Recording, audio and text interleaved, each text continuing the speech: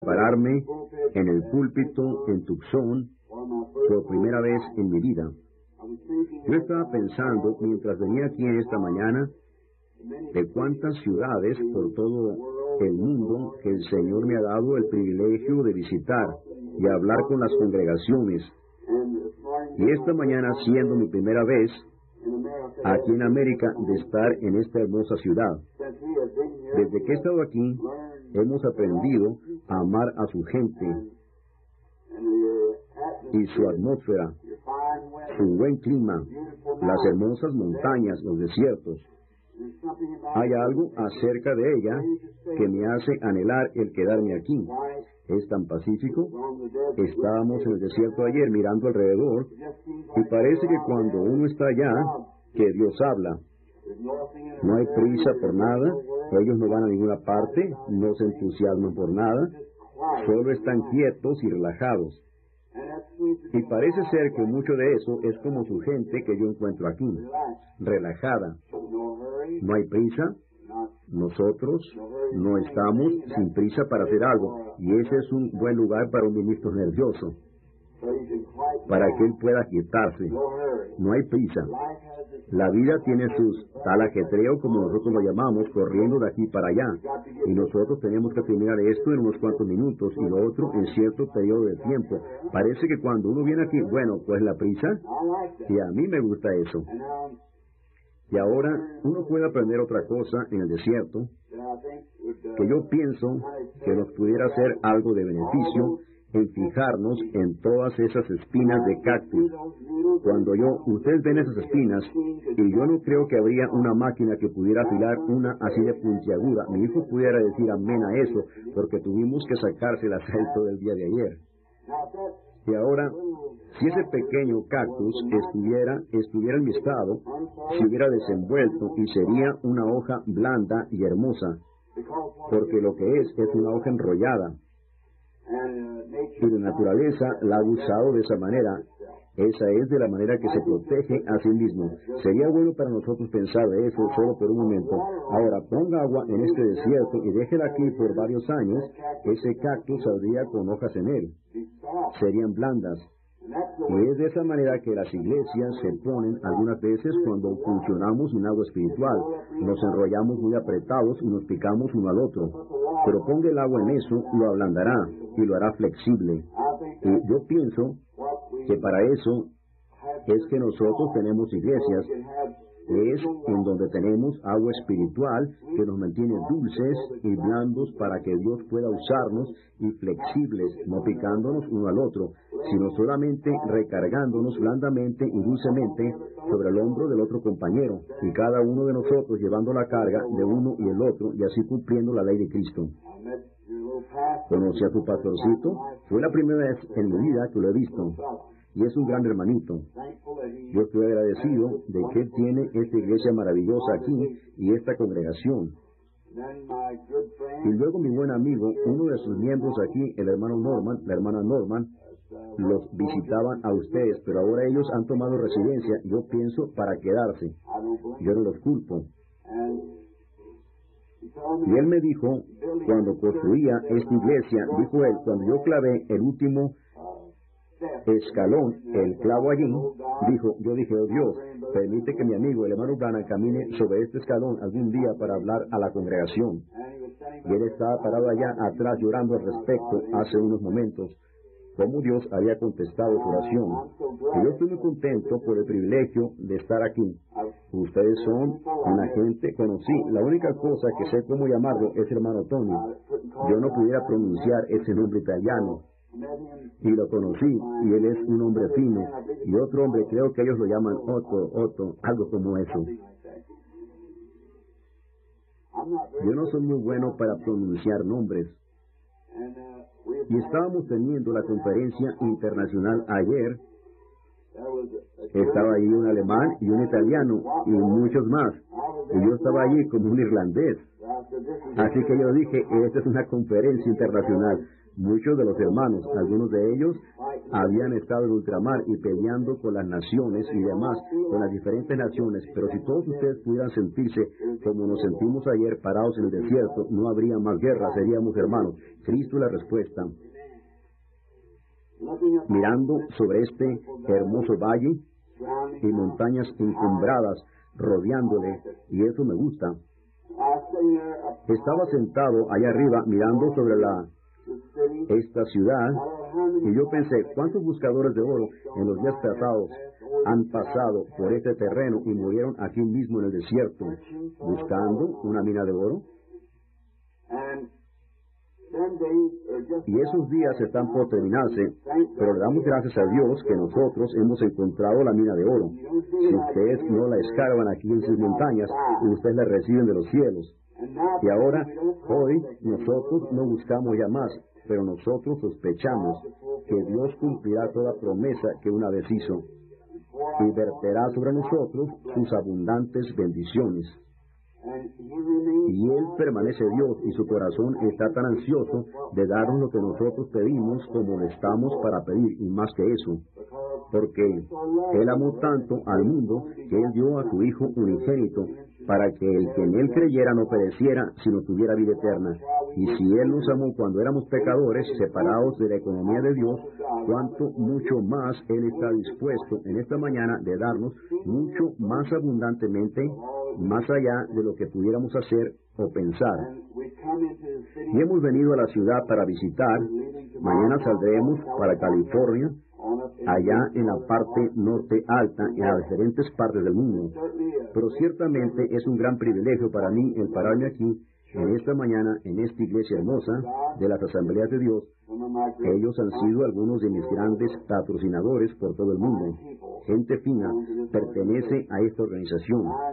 Ministros finos, laicos finos, yo pienso que todo el pueblo de Dios es fino. Donde quiera que los encuentra, son gente fina. Y siendo un misionero, y que he viajado mucho, como siete veces alrededor del mundo, he encontrado que el Espíritu Santo, usted va como a Tailandia, Japón, África del Sur, allá con los otentotes, y esos lugares allá, en que hombres y mujeres vienen a la iglesia sin nada de ropa puesta, porque no saben algo mejor, decenas de millares de ellos acostados juntos. Si usted pudiera hablar su lenguaje y preguntara cuál es su mano derecha y su izquierda, ellos no sabrían acerca de lo que usted estaría hablando. Todo lo que ellos saben es matar lo que pueden para comer. Ellos no pueden cualquier manera de conseguir algo para comer para sobrevivir, al igual que un animal lo haría. Pero hay una cosa que los hace como nosotros. Usted parece en una congregación como esa y permita que el Espíritu Santo caiga en ellos, ellos harán la misma cosa que usted hace cuando usted recibe el Espíritu Santo. Actúan de la misma manera. Eso nos muestra que Dios no hace excepción de persona o de nación. Como Hechos 4 dice, que Pedro dijo que percibía que Dios no tenía acepción de ninguna nación, sino de todos los que le temen. Y así que nosotros tenemos algo en común ese es Jesucristo. Llamé a mi esposa hace un rato y está cerca del cero allá. Y aún las escuelas están cerradas por la nieve, encerradas a causa de la nieve y las carreteras tan resbalosas. Si alguien es del este, usted debería de estar alegre que usted está aquí en el oeste ahora, porque está muy frío. Así que nosotros no pudiéramos tener cosas en común con mi estado y este estado, pero nosotros sí lo tenemos con mi Dios y su Dios porque es el mismo Dios. Yo vengo esta mañana como para introducir el ministerio que el Señor Jesús me ha permitido llevar alrededor del mundo. Y yo pensé que durante la mañana de la escuela dominical le daría a la gente una oportunidad para que yo pudiera explicarles a ellos, siendo que estamos aquí solo por una noche, que cómo ellos pudieran recibir a Cristo para la sanidad de sus cuerpos las cositas raras. Estando aquí por primera vez, algo pudiera parecer un poquito extraño para ustedes. ¿Por qué ellos no lo hacen de esta manera? Porque ellos no lo hacen de esta otra manera. Yo pudiera explicar eso. Ahora, Por lo general, cuando llegamos a una ciudad, cuando ellos están teniendo una reunión grande, bueno, nosotros, nosotros pedimos la cooperación y la afiliación de todas las iglesias para que se junten, para que Cristo no esté dividido entre nosotros. Él es el mismo Cristo entre todos nosotros. Y tratamos de reunir todas las denominaciones, metodistas, bautistas, pentecostales, iglesias de Dios, la santidad y todos juntos. Y entonces sentarnos juntos en lugares celestiales en Cristo Jesús con expectaciones de que Dios derramará su Espíritu sobre nosotros y hacer lo mucho más abundante. Y ahora, entonces cuando nosotros, para hacer eso, yo siempre he hecho esta declaración. Todos saben que yo era un misionero bautista y yo soy un misionero bautista que recibió el Espíritu Santo. Así que basado en eso, yo no creo que Pentecostés es una organización. Yo creo que Pentecostés es una experiencia que cualquiera que quisiera pudiera venir y recibir. Nosotros no podemos tratar un cerco alrededor de él, porque no es, se dispersa más allá de nuestros cercos. ¿Ven ustedes? Así que yo creo que una persona es salva si él es un metodista, bautista, católico o lo que pudiera ser, si él está confiando solemnemente en Jesucristo por su gracia. Pero si él es un católico y creyendo que la iglesia lo salva, entonces él está perdido. Si él es un pentecostal y cree que la iglesia lo salva, él está perdido. Pero no importa lo que él es, a cuál iglesia va, si él solemnemente está dependiendo en la sangre y méritos de Jesucristo, Él es salvo. A mí no me interesa en cuál iglesia Él esté, porque es por fe que somos salvos y eso por gracia. Yo solía conducir ganado llevando a donde lo juntábamos allá en Colorado, a lo largo del valle del río Molestoso. La asociación Hereford pastorea ese valle. Yo me supongo que ustedes tienen las mismas leyes aquí y para obtener la marca, la tarjeta, la Cámara de Comercio y demás. Y si usted puede producir una tonelada de heno en su granja, bueno, entonces usted puede enviar su ganado allí. La granja producirá una tonelada de heno por vaca para el derecho de pastoreo en el bosque. Ellos tienen una cerca larga con puertas por donde subíamos al río Molestoso, la horquilla occidental, la horquilla oriental del río Molestoso. Y muchas veces me senté ahí en la mañana del acorralamiento de primavera conduciendo al ganado. Ponía mi pierna a través del cuerno de la silla y observaba al guardabosques allí parado, observando esas vacas pasar. Un día sentó ahí yo pensé, esta es la manera que será en el cielo cuando lleguemos al gran portón. Y me fijé que pasando por ahí había como 15 o 16 marcas diferentes de ganado que pasaban por ahí. Algunas de ellas es la barra de diamante, esa es la del señor Greens. Allá en el rancho, el señor Jeffries, la pata de pavo y diferentes marcas, el guardabosques, no estaba fijándose tanto en las marcas, él no estaba poniendo la atención a eso, sino que él estaba buscando la etiqueta de sangre en la oreja porque usted no puede poner una vaca en esos pastos a menos que sea un ganado de pura sangre. Y así es como ellos entendían lo que era uno de pura sangre. Tenía que tener la prueba de sangre. Yo pensé, así será exactamente como será en el día del juicio. Él no se fijará qué marca yo llevo, si soy bautista o pentecostal o presbiteriano, sino que él se fijará la sangre, la etiqueta de sangre. Cuando yo vea la sangre, pasaré de vosotros. Nosotros entramos por lo que somos, no quienes somos. Ahora, cuando vengamos al servicio en esta noche, ¿cómo a qué horas empieza el servicio, hermanos?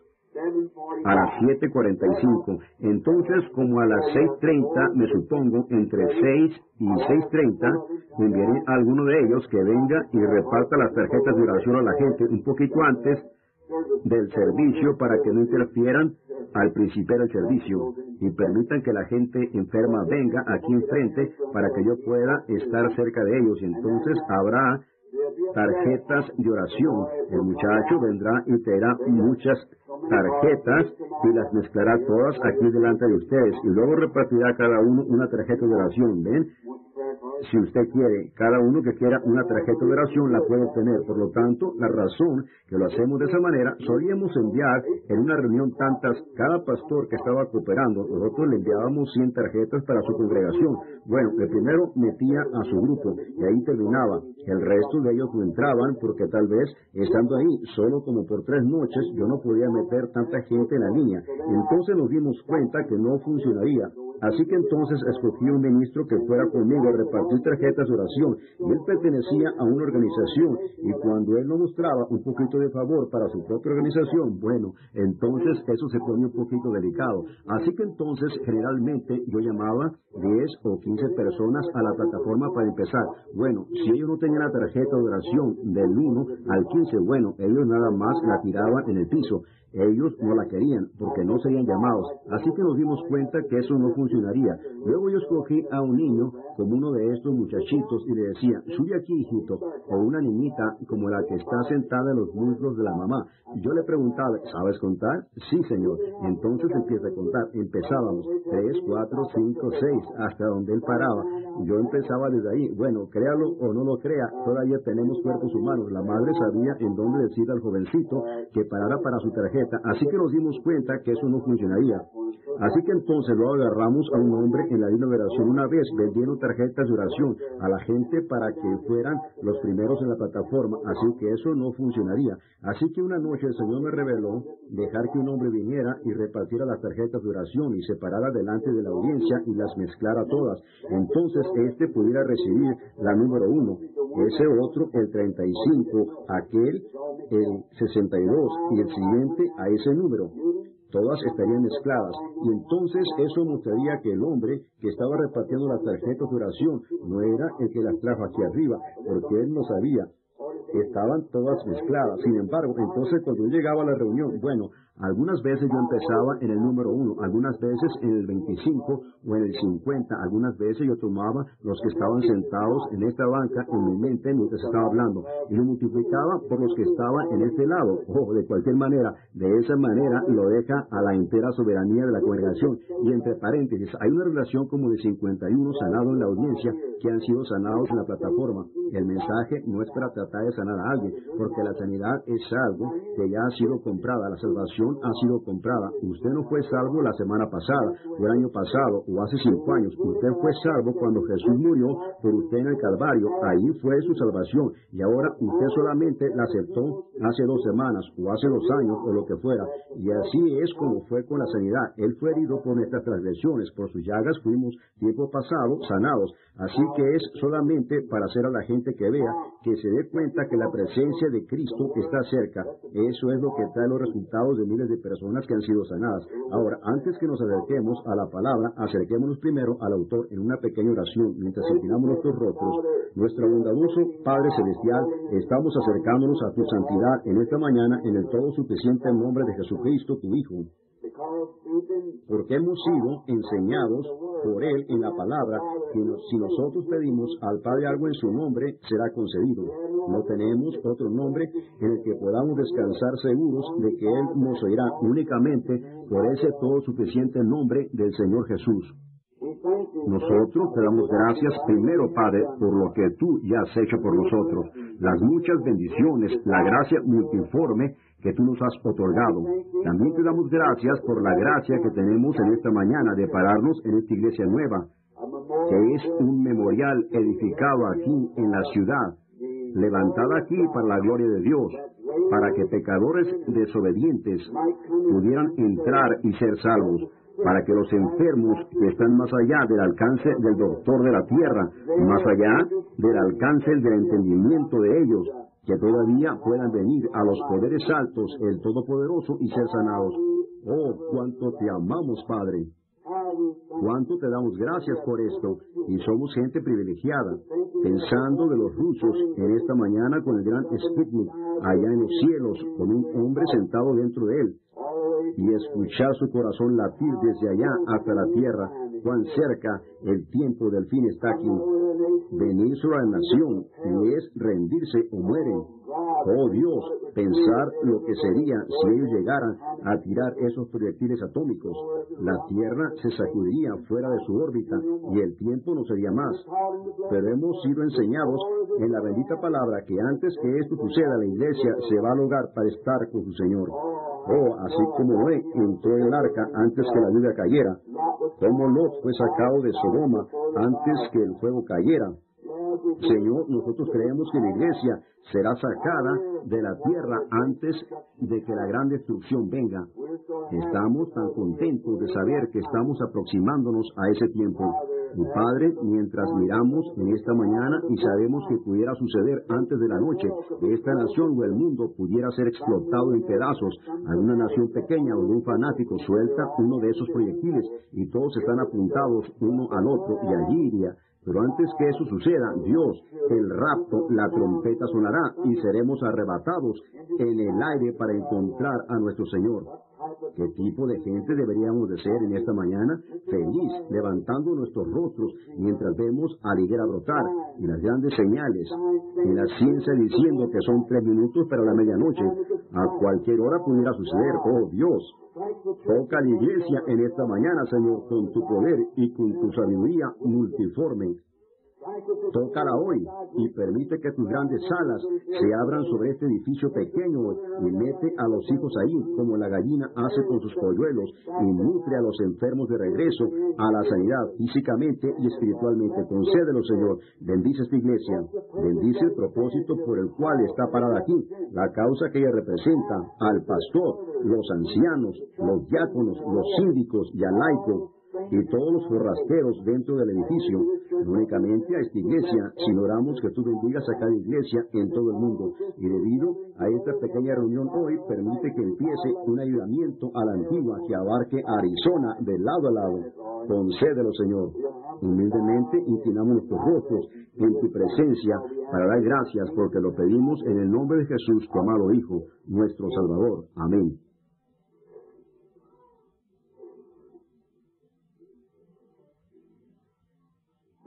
Ahora, no para predicar, sino solo para establecer un poquito de orden, preparando corazones para el evento de esta noche, para que creamos que nuestro Padre Celestial nos encontrará.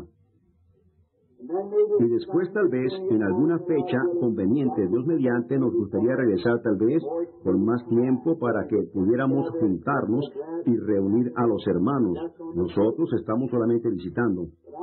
Pero me gustaría leer en San Lucas el segundo capítulo y el versículo 25, versículo 26. Y le había sido revelado por el Espíritu Santo que no vería la muerte antes que diese al ungido del Señor. Yo voy a usar el tema de expectación. Las expectaciones generalmente están basadas en una fe.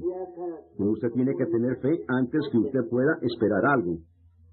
Y ahora, como muchos de los siervos de Dios en el Antiguo Testamento, fe viene por el oír, el oír de la palabra. Y yo con frecuencia he citado esto de que Dios está obligado a su palabra.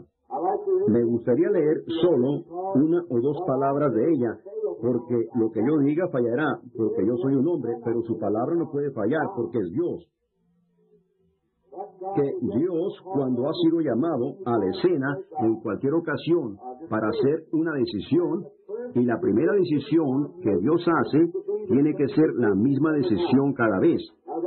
Ahora, ahí es en donde usted debe solemnemente basar su fe en así, dice el Señor. Usted debe de creerlo, que es la palabra de Dios.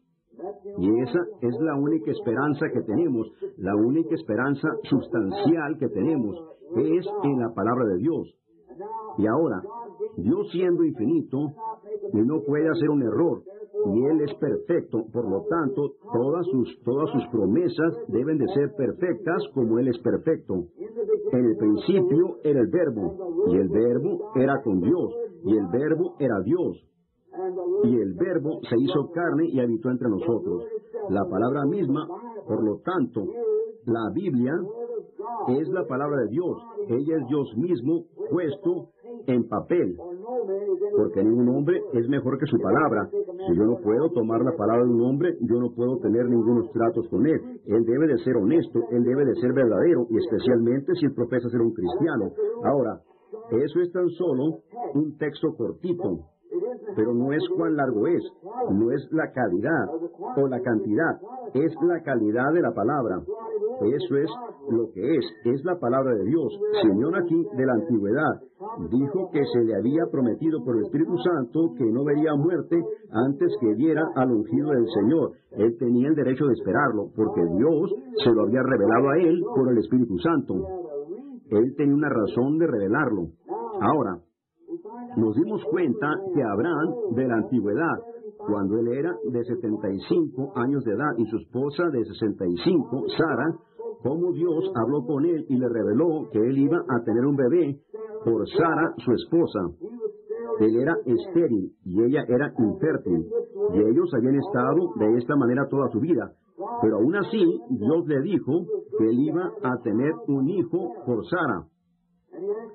Y él le pidió que él se separara debido a esta promesa. Y así es de la manera que lo tenemos que hacer. Cuando tomamos a Dios en su palabra, tenemos nosotros mismos que separarnos de todas las cosas alrededor que son contrarias a esa palabra. Usted no puede ir a la gente y decir, piensa usted que yo recibí mi sanidad, piensa usted, no es lo que ellos piensan, eso no tiene nada que ver en esto. Es lo que usted piensa, depende de usted. Así que se le pidió que se separara y él lo hizo así con grandes expectaciones de recibir al hijo.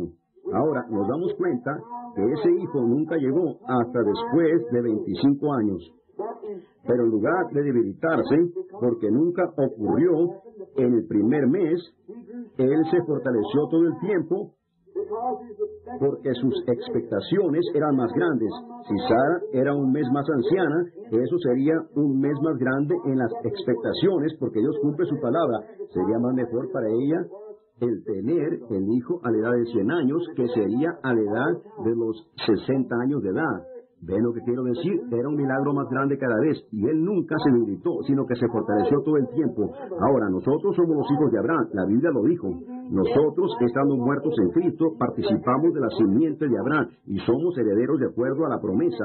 Somos herederos de la promesa con Abraham, porque a Abraham se le fue dada la promesa. Y ahora, si somos sus herederos con Abraham, entonces somos los hijos de Abraham. Y la misma fe que Abraham tuvo, nosotros la tenemos. Que cuando Dios hace una promesa, sabemos que va a suceder. No puede hacer algo más. ¿Pudieran ustedes imaginarse Abraham saliendo? Digamos que lo hizo él y Sara. Él era de 75 y ella de 65. Eso es como 15, 20 años pasada la menopausia. Y ella era su media hermana. Él estaba viviendo con ella desde que ella se había casado con él, probablemente 16 o 17 años de edad y sin hijos. Y Dios le apareció a él y le dijo que ella iba a tener un bebé. Ahora, Abraham esperó que eso sucediera, porque Dios así lo dijo. Yo puedo imaginarme, ¿pudieran ustedes imaginarse a un anciano de 70 años de edad y a una mujer de 65 ir a ver al doctor para hacer arreglos con el hospital para tener el bebé? ¿Qué le diría a la gente, qué le diría a la gente a ellos? ¿Qué diría el doctor? El anciano está, algo está mal mentalmente. Hay algo mal en ese anciano. Bueno, cada hombre o mujer que toma a Dios por fe y acepta sus promesas es considerado por este mundo como una clase de loco o fanático, porque las cosas de este mundo son tan hechas para Dios. Lo que el hombre llama grande, Dios lo llama necedad. Ahora, pero Abraham lo creyó. Ahora, los primeros 28 días después, ella estando como 15, 20 años pasada la menopausia, ¿cómo te sientes, cariño? No hay ninguna diferencia. Bueno, alabado sea Dios, vamos a tener al bebé de todas maneras. Había tanta expectación. Tal vez Sara había tejido unas botitas y una cobijita. ¿Y ¿Por qué? Ella estaba en expectación que algo sucediera. Esa es la razón por la cual sucedió. Pasó año tras año y Abraham se fortaleció más y más dando gloria a Dios. Y finalmente sucedió porque él esperaba que sucediera. Después de que ella tenía 90 años de edad, mejor dicho, él tenía 90. ¿Qué piensas al respecto ahora, Abraham? ¿Estás para desistir? No, señor. Vamos a tener el bebé de todas maneras. Tenemos la ropa guardada y tenemos todo listo. ¿Por cuánto tiempo él ha tenido? Por 25 años, pero Dios enviará el bebé de todas maneras. Me gusta eso, ¿ven? Es positivo. Yo lo digo así. Y eso lo da por terminado. Cuando Dios hace una decisión, Él tiene que hacerla eterna. Ahora yo puedo hacer una decisión y cinco minutos después tengo que regresar y hacer otra porque yo estaba equivocado en aquella. Ustedes pueden también porque somos finitos, pero Dios siendo infinito no puede hacer un error. Él es el Dios infalible, omnipotente, omnipresente e infinito. Amén. Cuando él hace su decisión, queda establecida para siempre. Él no puede retroceder y decir, yo estaba errado. Él no puede hacerlo. Y si Dios hizo una decisión en el principio, que en fe, si nosotros creemos su palabra, Él hará que cada promesa venga a suceder. Entonces Dios todavía es el Dios infinito para sus promesas. No puede fallar. Tiene que ser de esa manera. Es positivo. Usted tiene que llegar a esa posición. Si usted toma su palabra, creerla. Ahora, si él hubiera dicho, bueno, como las iglesias dicen que no, algunos ministros dicen que los días de los milagros han pasado, Dios no sana a los enfermos ya más. Si Dios fue llamado a la escena para un hombre enfermo y lo sanó en base a su fe, si otro hombre enfermo viene a él, él tiene que hacer la misma cosa o él actuó mal cuando él sanó al primer hombre. Si Él da a uno el Espíritu Santo que revelación en la Biblia, exactamente como prometió ahí en Hechos, Él dijo la promesa para vosotros y para vuestros hijos, para aquellos que están lejos y para cuantos el Señor nuestro Dios llamare. Si un hombre llena esos requerimientos, Dios está obligado por su palabra a llenarlo con el Espíritu Santo. Porque si él no lo hizo, entonces él cometió un error. Y si Dios cometió un error, él es un hombre y no un, y no Dios. Entonces él es finito, así como nosotros somos. Así que ven ustedes, como hijos de Abraham, tomamos la promesa de Dios y nos agarramos de ella. No importa lo que suceda, nos agarramos de ahí sin titubear, porque Dios lo dijo así y eso lo da por terminado. Ahora, usted no puede fanfarroñarlo, usted tiene que tenerlo, usted no puede nada más fanfarroñarlo. Eso no fanfarroneará. Satanás no es un... Él sabe si usted está fanfarroneando o no, pero cuando usted no está fanfarroneando, él también lo sabe. Cuando algo se en lo profundo de su corazón, que usted sabe que es así, entonces algo va a suceder. Abraham creyó eso.